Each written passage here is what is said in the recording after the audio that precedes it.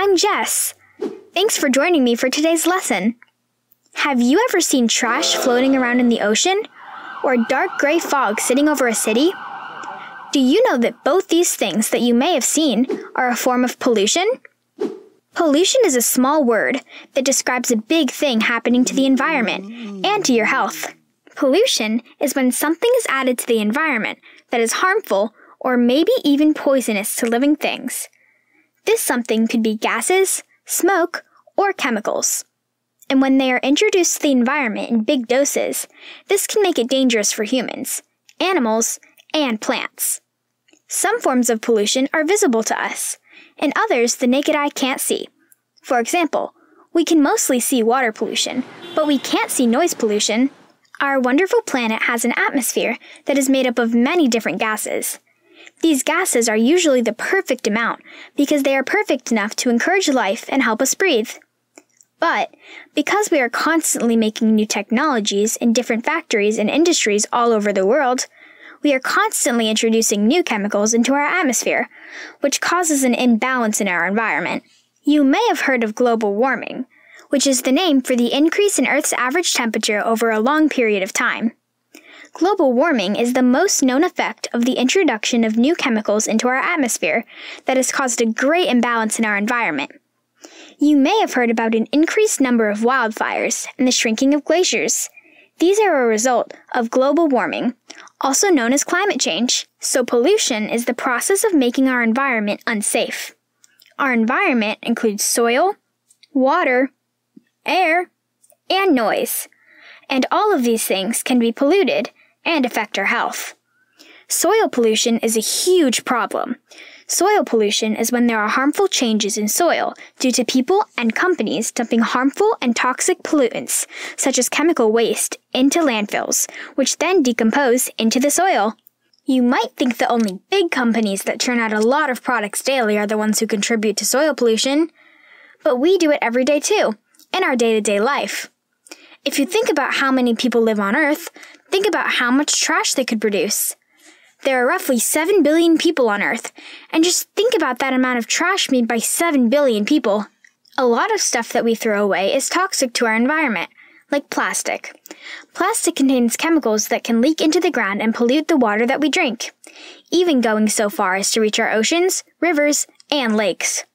As trash decomposes and the chemicals inside of them begin to seep into our soil, this can really be harmful to the environment. Soil can easily become polluted by general household garbage that we toss away, as well as industrial waste. Industrial waste is the term for waste made by big companies. Usually it's single use plastics that are the main culprit. And a lot of companies make a lot of them. According to the University of Utah, big companies use 4 million pounds of materials in order to provide the average American family with products they need for an entire year. 4 million pounds! Most of it is classified as non hazardous, such as wood, concrete, bricks, and glass, which are materials needed for construction, as well as items needed for hospitals, such as bandages and surgical instruments. But industries still make hazardous waste for manufacturing pesticides, mining, and other chemical production. When you or someone else takes the trash out and the garbage truck comes, where do you think the trash goes? Your trash is brought to what is called a landfill, where it is buried in soil and left there to decompose. Decompose means to slowly break down, and that means it slowly breaks down into our soil. So that means trash is decomposing into our soil. This is a dangerous thing because most of the food that we eat is grown in soil, and so if the soil is contaminated, people can get sick from eating food that is grown in contaminated soil. This is why a few companies are trying to adopt practices that help them to minimize waste, and why we at home should practice the three R's. These are reduce, reuse, and recycle. If we minimize the waste that ends up in landfills, we will help to minimize the contamination of our environment and keep everything healthy. We should stop using plastic and use items that we can recycle and bring them to recycling centers once we are done. Then they can be reused and made into new products. This is a very effective way to manage our waste and keep them from reaching landfills and contaminating our soil. So now we know about soil pollution, but have you heard of water pollution? Water pollution happens almost exactly like soil pollution, where toxic substances are introduced to a body of water, contaminating it. And because we need water to survive, having unclean water is a disaster.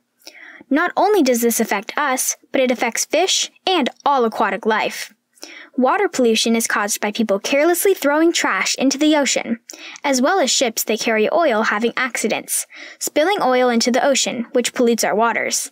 One oil spill took place when an oil tanker hit a reef and spilled over 11 million gallons of oil into the ocean. That's a lot of water pollution. Did you know that there are islands of trash in the Pacific Ocean? That sounds weird, right? But there are islands made up of trash in the ocean because of littering caused by mankind. The most popular one is the Great Pacific Garbage Patch, which is a collection of trash in the North Pacific Ocean. But there are several more. Not only is water pollution caused by littering, but it can also be caused by sewage, pesticides, and fertilizers from farms leaking into waterways. Water pollution is a huge problem. Researchers believe that 783 million people do not have access to clean water. Having sewage in drinking water can make people really ill, as it contains germs and viruses. Another type of water pollution is nutrient pollution. This is when nutrients such as nitrogen are added into bodies of water, and not on purpose. This happens when sewage gets into the ocean, or manure from a farm somehow leaks into the ocean as well. The nutrients act as a fertilizer and make algae grow way faster than normal. This makes the algae block light from other aquatic plants. And this lack of light makes the plants die.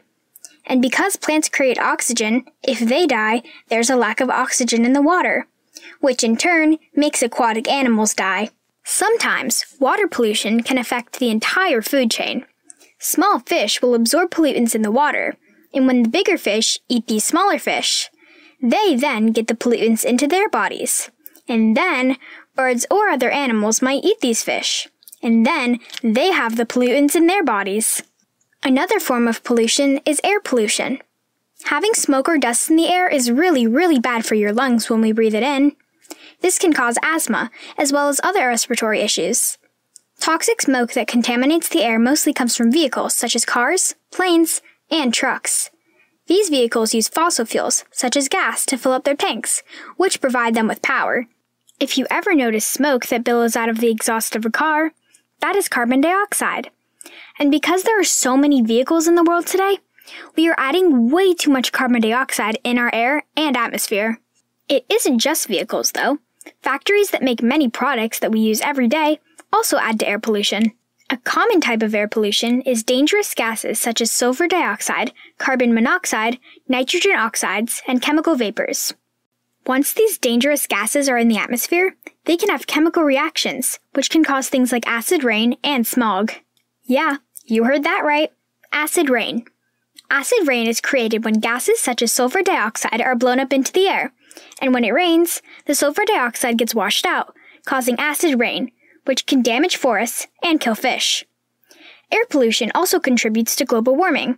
This is through carbon dioxide, which is a gas that is released by the burning of coal, natural gas, oil, and wood that traps heat in the atmosphere which is increasing the Earth's temperature, causing major damage to the planet. This increase in temperature is slowly melting glaciers, which causes the sea level to rise, threatening the safety of coastal areas. Global warming also causes other changes to the Earth's climate, including more wildfires than usual, harsher droughts, and shifting wind and ocean patterns, which are all referred to as climate change. And last but not least, you have noise pollution. Imagine living next to a building where the people next door are continuously partying and making noise. You wouldn't be able to sleep. And not being able to sleep can actually make you sick. A lack of sleep can affect your immune system. Studies show that people who don't get a good enough sleep, or enough sleep, are more likely to get sick after being exposed to a virus. Noise pollution can affect the environment as well. When sound from planes, buildings, or other sources reaches harmful levels, this can interfere with sleep, making people stressed affect their hearing, and even their blood pressure. The Clean Air Act was introduced to help control machine and plane noise. Researchers found that noise pollution contributes to hundreds of thousands of deaths per year because it increases stress levels, which can become dangerous for your heart and lead to heart attacks. Noise pollution also impacts the health of wildlife. Wildlife researchers have found that loud noises cause caterpillars' hearts to beat faster and bluebirds to have fewer chicks. Did you know that you can get underwater noise pollution? Noise that comes from ships has been shown to upset whales' navigation systems.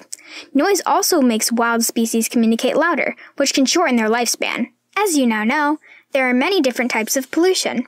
But as pollution grows, ways to combat it has grown too. People are introducing solar energy and wind energy to help power their homes in a clean and sustainable way. This helps to put less carbon dioxide into the environment, which is great news for not only us, but wildlife as well. In order to be environmentally friendly and help stop pollution, you can start recycling and stop using plastic materials as much as you can. Carpooling is also a great way to help keep vehicles off the road, or even using buses and trains. Well, that's all we have time for today. Thanks for joining me and see you next time.